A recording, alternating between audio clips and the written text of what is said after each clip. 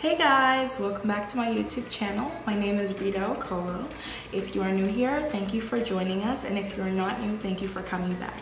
So today we are actually going to be starting a new series that we are titling Battle of the Brands. And I felt like the most appropriate first round to go for would be the Fenty Beauty foundations versus the new Huda Beauty foundations. On the right side of my face, I have the Fenty Beauty Soft Matte Instant Retouch Primer as well as the Pro Filt'r foundations. And then on the left side of my face, I actually have the Huda Beauty Complexion Perfection Pre-Makeup Base as well as the Huda Beauty foundation in the shade Nutmeg. So we are going to be testing for longevity. We're going to be testing for, you know, settling into fine lines. We're gonna be testing these foundations all around. So right now, the current time is actually, it's 3.24 a.m. currently. I actually have a flight at 6 a.m. so I do need to get going. Do not forget to subscribe, subscribe, click the subscribe button down below so that you are updated whenever new videos do come on the scene. You don't want to miss out on these. Um, and so that you do become part of the fams. Without further ado, let's get started. Let's get into this video. And I am going to do a giveaway of the longest lasting foundation okay so whichever foundation does win out that's the one that will be the prize for the giveaway but you will have to stay tuned till the end in order to see exactly how that plays out obviously. Um, so yeah enjoy the video and I will see you guys very soon. Am I the only one who thinks it's quite a coincidence that both of these foundations kind of sound the same? Faux Filter versus Pro Filt'r? I'm to be doing a half and half of Huda Beauty hashtag Faux Filter foundation on my left side and the Fenty Beauty Pro Filt'r foundations are gonna be on my right side. I am gonna be wearing this makeup for quite some time, so I am putting just a bit of, milk of magnesia um, on my T-zone because I know neither of these primers are going to hold up. Closer. Okay, it does come out in a nice, thick, creamy consistency. And I'm just gonna go in on my face. So this primer has a nice light scent. It's not very strong um, at all. Now, this side looks more on the gray, like on the grayer side. I zoomed in a little further just so you can kind of see what is going on. This side of my face is definitely definitely has some like grayscale going on. So now on the left side of my face, I am going to go in with the Huda Beauty Complexion Perfection Pre-Makeup Base. Product comes out. Okay, you can see it's a lot thicker than the Fenty Beauty Primer. I'm also gonna go in with my hand, with a clean finger and apply this onto my face. Now the scent on this one, I will say, is definitely stronger. So if you are sensitive to um, fragrance and fragrance in beauty products, I don't know if you will necessarily be a fan of this. Um, however, it's very hydrating, very hydrating. It's a nice thick moisturizer. I do feel that both of these primers honestly if you do have drier skin you will like this more so the Huda Beauty uh, primer than the Fenty one and you can see instantly the difference between the two sides. This side is definitely more hydrated, more supple, and this side is like dry to the touch, okay? So they're complete opposites. This is a shine stopping primer and this is a hydrating makeup base that creates a smooth canvas while gripping makeup and moisturizing the skin. So this is supposed to keep your skin nice, supple, and you know hydrated while this is supposed to stop the shine for a more mattifying primer if that's what you're looking for a more mattifying primer this will run for 32 a hydrating makeup base this will run for $35. With the Fenty foundations, like I mentioned before, I do have to mix two shades. Just to show you the consistency of this foundation, I'm going to just squeeze the pump out here. Okay, you can see it's very runny. Definitely very runny. Now these do say to shake well, so I'm just gonna go ahead and shake these up before I actually go in and use them. I'm going to squeeze one pump of 490. Well, actually, I really only need half a pump since I'm only doing half my face right. Let me think this through. And then I'm going to squeeze in two of these. Okay, that's the ratio I, I usually go for, one to two. Okay. This is the shade.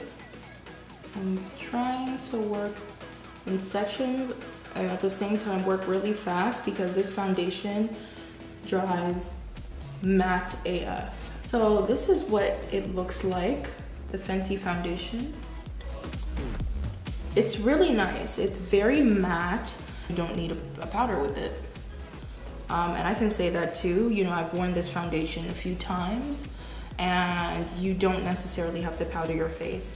It does cover up, as you can see, it covers up the discoloration um, very nicely. As you can see, it took all three pumps that I used um, of the foundation to cover half my face. And I don't have like a lot of blemishes or, you know, things to cover on my face. So you're looking at quite a few pumps in order to cover you know, blemishes and stuff. So I, I would call this more of a medium coverage for sure. So now we're gonna look at the Huda foundation on the left side of my face. This is the shade 520G. So I'm going to show you how the foundation comes out. Okay. You can see this is a thick, she is thick. Okay. And they claim that you can cover your face with just one pump. So, so now I'm gonna go in with the Huda Beauty foundation. Okay, so right off the bat, you can definitely see the color difference. And this shit is so thick, oh my God.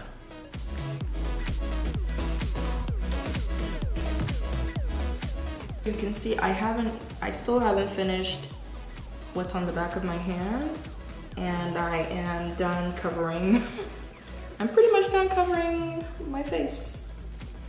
I'm done covering this half of my face. Okay, let me just, it took less than half a pump because I still have the rest of it here.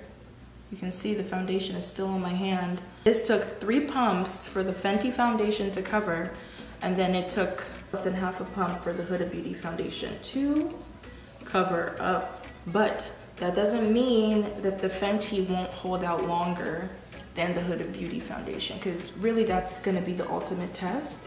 So the Fenty Beauty Pro Filt'r Foundation is actually a long wearing matte, soft matte foundation and retails for $34. The Huda Beauty Faux Filter Foundation retails for $40. It's a fade-proof formula blends seamlessly with skin, leaving it matte with a hint of sheen for a luminous appearance. So from looking at it, you can see that the left side of my face has more like golden olive undertones, which is definitely a lot more similar to the undertones I naturally have versus the Fenty Pro Filt'r Foundation, which seems to have more red, more cooler gray undertones versus my golden olive, you know, olive green undertones.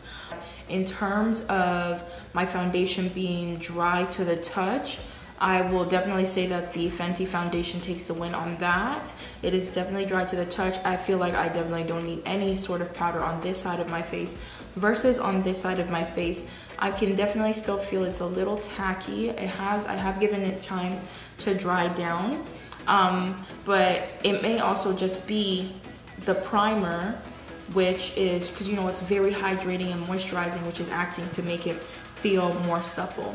I'm going to go do, finish the rest of my face and then I'm gonna come back on camera and then we're gonna go through the day. Okay guys, so this is the finished look. I just did something really quickly. So I'm going to head to the airport now. I'm gonna check in with you guys a little later just to see how things are going. And then when we when I get to Toronto, we'll continue on with the rest of the day and kind of see where things go. All right, great. See y'all soon. It's 4.30 a.m. I finally gotten some food. You guys are really gonna see like texture and stuff on my skin, but I think everything looks pretty matte so far. I don't have any complaints whatsoever. So I'm home now. I want to do a check. I'm looking at both the left and right side of my face and I don't know if you can see right here this is the Fenty side you can see some shine is starting to pull through here okay around my nose area and then over on this side there is a little shine but I feel like there's more shine on the Fenty side than on the Huda Beauty side. So I will keep y'all posted. So I don't know if you guys can see right here on the Fenty side there is oil building so it is currently 2:46 p.m.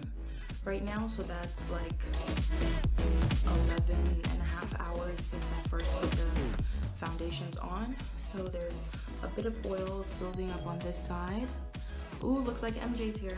And then on this side over here, on the Huda Beauty side, you can see that overall there is more of um, a sheen. They're both still holding up really well.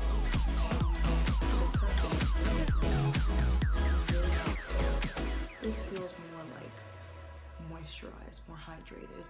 This is definitely dry to the touch. One side of my face, I have the Huda Beauty foundation, and on the other side, I have the Fenty. This one looks better.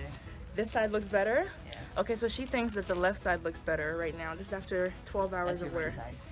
Yeah, my right side, which is the Fenty side. So she thinks the Fenty side looks better. Okay, so now I'm currently at the MAC store picking up a few items, and I'm noticing some. The lighting here is really interesting. So this is the Fenty side, as you can see, lots of oil production around my nose on both sides. But the Fenty, my face is still really dry. Like I just really produce oils only in the center of my face, and then above my brows here too now it's really oily. Anyways, I'll pick up a few items and I think I'm, this is the perfect time to do like this is my final review because now it's been 12, 13, 14, 15.